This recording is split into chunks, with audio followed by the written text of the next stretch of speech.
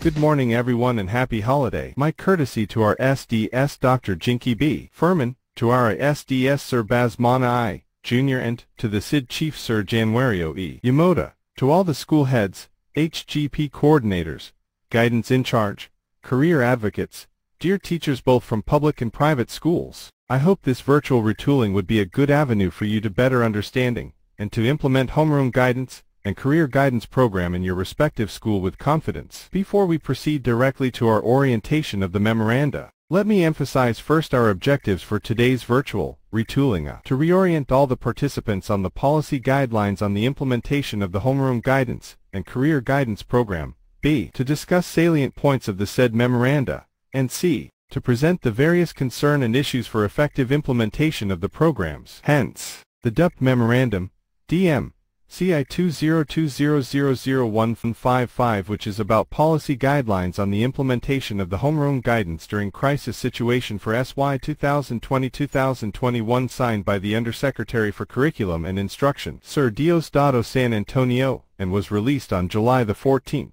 2020 was still the standing order for this HGP implementation. The past pandemic has clearly affected the teaching and learning process that usually takes place in school. Certainly, our learners cannot avoid its impact in terms of their domains of development and mental well-being. While the department has been responsive, through its basic education development plan and the MATATAG agenda, it is crucial to cater to the life skills development of learners, which will empower them to overcome the different challenges and adapt to the new ground brought about by the current socio-economic and psychosociological aspect of our students' being. Relative to this, an advisory was issued by DUPT Authority, on September the 30th 2020 that HG modules are already available at the DepEd Learning Resource Portal and shall be used this school year 2021 onwards. On the other hand, for Career Guidance Program, this is mandated under Republic Act number 11206 otherwise known as the Secondary Career Guidance and Counseling Act of 2019. It aims to, uh,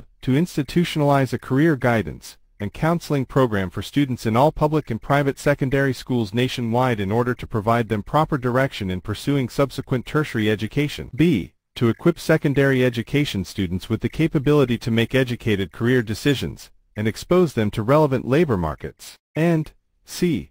To ensure graduates of tertiary education meet the requirements of the government, industry, and the economy. Thus, this online retooling will equip and update the participants just understanding on the policy guidelines of the implementation of the Homeroom Guidance Program, CGP and Guidance and Counseling Referral System for learners and be able to implement the said programs on their respective area of concern. This will also inform and advance the school heads, HG coordinators and guidance counselors on the required monitoring phase and necessary monitoring tools, and reports to be accomplished for the submission to SDO at the of this school year. So with this, the school's division office is expecting all the schools, most especially, the school heads to spearhead the implementation of these programs. In order for us to really serve fully our clientele, who are our learners for them to be fully and holistically developed as future key agents of the country's economic growth and development. Thank you everyone and once again, happy holiday.